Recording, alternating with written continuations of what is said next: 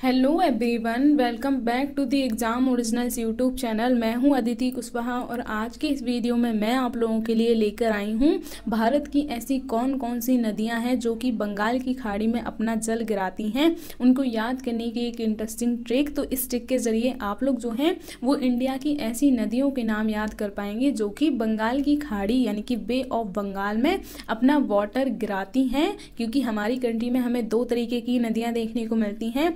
एक तो वो नदियाँ जो कि बंगाल की खाड़ी में अपना जल गिराती हैं और दूसरी वो नदियाँ होती हैं जो कि अरब सागर में अपना जल गिराती हैं। तो आज के वीडियो में मैं आप लोगों को बताऊँगी कि बंगाल की खाड़ी में जल गिराने वाली नदियाँ कौन कौन सी हैं। उनको याद करने की एक इंटरेस्टिंग ट्रिक तो चलिए हम लोग वीडियो को स्टार्ट कर लेते हैं।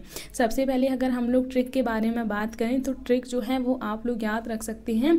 ब्रह्मा की गोद में गंगा। तो इस ट्रिक के ज़रिए हम लोग जो हैं, वो उन नदियों के नाम देखेंगे होंगे जिनके ज़रिए आप लोग जो हैं, वो उन नदियों के नाम याद रख सकते हैं, जो कि बंगाल की खाड़ी में अपना जल गिराती हैं। तो इसमें ब्रह्मा से आप लोग जो हैं, वो ब्रह्मपुत्र नदी को याद रख सकते हैं।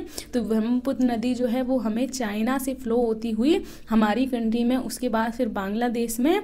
तो इस तरीके से जो ब्रह्मपुत्र नदी है, वो आप लोग यहाँ पर देख सकते हैं। उसके बाद की से आप लोग दो नदियों के नाम याद रख सकते हैं, कृष्णा और कावेरी।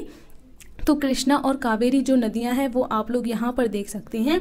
ये दोनों नदियाँ भी हमें बंगाल की खाड़ी में अपना जल गिराती हुई दिखाई देती हैं तो इनके नाम भी आप लोग याद रख सकते हैं। उसके बाद गोद से आप लोग गोदावरी नदी का नाम याद रख सकते हैं। तो यहाँ पर आप लोग जो है, वो ये गोदावरी नदी भी देख सकते हैं। ये कृष्णा है, ये कावेरी है और ये ब्रह्मपुत्र मैंने आप लोगों को बता ही दी है।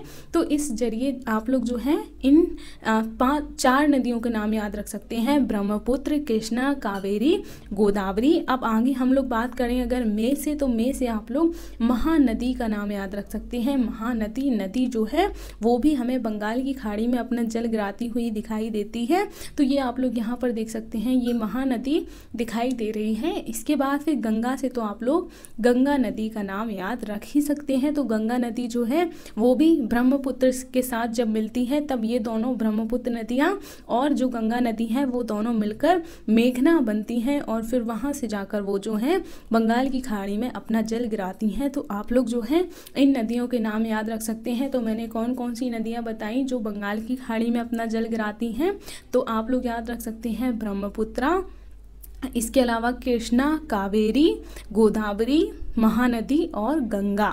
तो ये जो नदियाँ हैं, इनके नाम आप लोग इस ट्रिक के ज़रिए याद रख सकते हैं। अब आप लोगों के राज्य से कौन सी नदी फ्लो होती है, वो आप लोग कमेंट बॉक्स में ज़रूर बताइएगा। तो आज का हमारी जो इंटरेस्टिंग ट्रिक थी, वो बस यहीं तक रखते हैं। अगर आप लोगों को वीडियो पसंद आया हो तो प्लीज़ ज़्यादा से ज़्यादा लोगों को शेयर कीजिएगा और हमारे चैनल को सब्सक्राइब कीजिएगा, जिससे कि इसी तरीके की और भी इंटरेस्टिंग ट्रिक्स आप लोगों को मिलती रहें।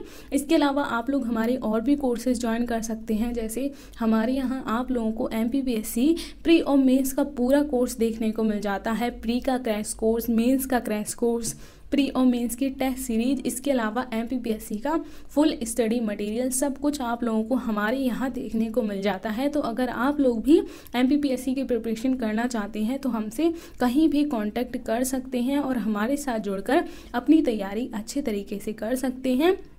तो वीडियो को मैं बस यहीं तक रखती हूँ। मिलूँगी अब मैं नेक्स्ट वीडियो में। तब तक के लिए धन्यवाद।